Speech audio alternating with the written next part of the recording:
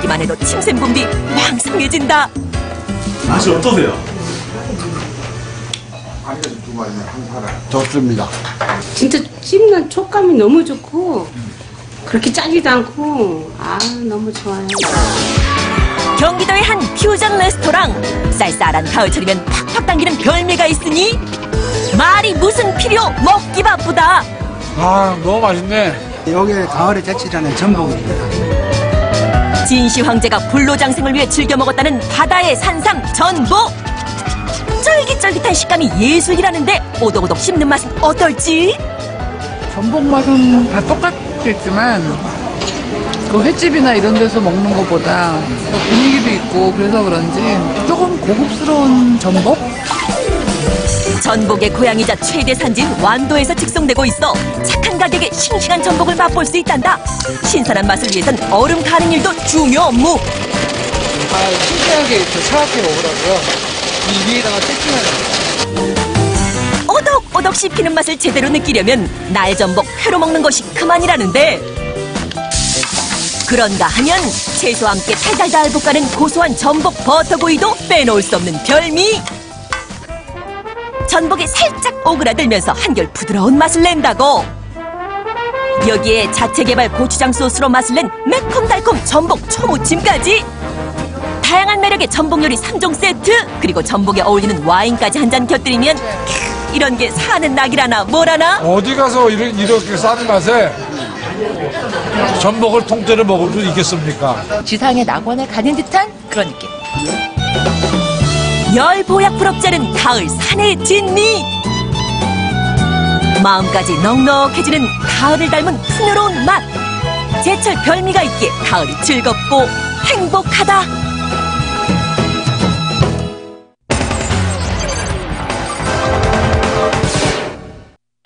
계속되는 불황 속에서 자신만의 돌파구를 찾는 사람들이 늘고 있습니다. 1인 창업을 꿈꾸는 손세차 기술, 또 여자들의 손을 가꿔주는 남성 네일 아티스트, 그리고 흥정의 기술을 알려준다는 상인대학까지 배우면 돈이 된다, 돈을 부르는 기술의 세계. 지금 만나보시죠. 남들과 똑같은 것도 좀 더 특별하고 개성있게 불황 속 살아남는 나만의 기술 배워가지고 남을 주는 것도 아니고 돈이 되는 기술이에요. 준비하는 자에게 기회가 온다고 했던가 치열한 경쟁 시대 배워서 즐겁고 돈이 돼서 흐뭇한 별별 기술의 세계로 들어가 본다 수원의 한 아파트 주차장 아침부터 범상치 않은 차량 한 대 출몰했다 정체모를 도구들까지 줄줄이 꺼내 바삐 움직이는데 아, 대체 이, 이곳에 뭔일 나시오? 실내 클리닝 지금 왔습니다. 아 근데 죄 없는 차량 의자는 갑자기 왜 뜯어내는겨? 오늘 세차로 온 거 아니었쇼? 에? 아저씨 다 드러내야 구석구석까지 깔끔하게 할 수 있기 때문에 드러내는 겁니다. 오늘 2차 임자 한번 제대로 만났다 세차 기술을 배우는 학생들의 손에 맡겨져 목욕자 개족 그런데 세차에도 요령이 있단다 15년 경력 세차 달인의 지도하에 무한 실습 배운 내용 기록으로 남기는 건 필수다 작년에 제대를 하고 이제 바로 일에 시작을 해서 한 1년 정도 됐습니다. 혼자 하는 일을 찾다가 아무래도 이 일에 저한테 적성이 맞는 것 같습니다. 체력이 뒷받침돼야 하는 세 차일 그런데 남성들 틈에서도 뒤지지 않는 여성 파워도 있었다 많아서 여자가 그런 일을 하느냐고 일 꾸준히 있으면 괜찮거든요. 수입 괜찮으세요? 시간에 쫓기는 고객의 수요가 특히나 많다는 출장 세차 기술만 익히면 1인 창업도 가능하다고 기본 한 250에서 500 사이로 보면 정확합니다. 그러니까 월급제기보다 조금 낫다고 생각하시면 됩니다. 저는 먼지를 걷어내야 돼요. 시간이 곧 돈. 그렇다 보니 좀 더 빠르고 편리하게 세차하는 달인만의 노하우까지 있을 정도. 성실함을 기본으로 실내 세차, 광택 등의 기술을 약 3개월가량 익히면 별 무리 없이 일할 수 있다는데 세차로 환골탈태한 모습에 마냥 뿌듯하다. 나름대로 또 자기 시간도 자유롭게 가질 수도 있고 여러모로 좀 괜찮은 것 같아요. 또 다른 돈벌이 기술을 찾아 향한 곳 바로 네일아트 학원. 작은 손톱을 도화지 삼아 예술 혼포로 넣는 네일아트. 남녀노소 할 것 없이 미용에 대한 관심이 많아지며 인기 급증. 또 요즘 트렌드이기 때문에 많이들 배우시고 취업도 많이들 하실 수 있고 그런데 수많은 여성들 사이에서 당당히 자리를 잡고 있는 남자들 발견.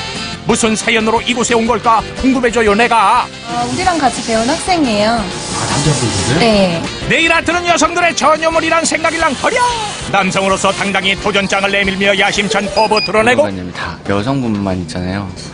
거기에 또 남성분이 좀 끼면은 조금 더 이렇게 독특하고 활력소가 될 수 있을 것 같아서 평범한 직장 생활을 포기하고 지금의 선택을 한 남자들 나름의 고충이 왜 없을까? 솔직히 어른들한테는 다 얘기를 못했어요. 지금 어, 그래 남자라서 어, 정말 잘 될 수도 있을 것 같아라는 말씀하시는 분들도 있고 성직한 남자들이라고 섬세하지 않을 거란 편견은 건물 오히려 장점이 많다는데. 웬만한 여성분들보다 굉장히 더 꼼꼼하시고 성실하시고. 수업을 마치기가 무섭게 이들이 향한 곳. 바로 인근 네일샵. 왔어? 그럼. 네, 오랜만에 학원 선배님인데 정식으로 샵에 취직하기 전에 실습차 한번 와봤어요.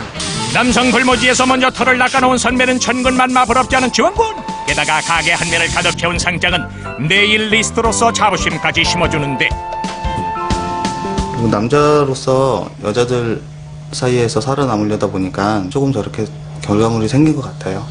무한 애정을 담아 자신의 경험과 기술을 꼼꼼히 전수해주는 선배 네, 너무 뜨겁지 않게. 고객분들 중에 80%가 여성이기 때문에 유행에 굉장히 민감해야 되고요.